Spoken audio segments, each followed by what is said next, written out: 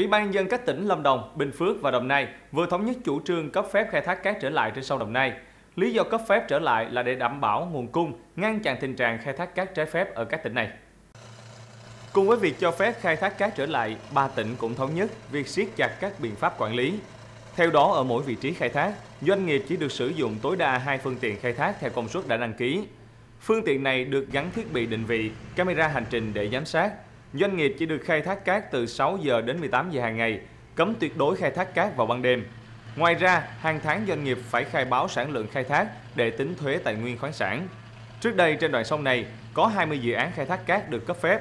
Tuy nhiên giữa năm 2017, các địa phương đã quyết định tạm ngưng bởi nhiều bất cập.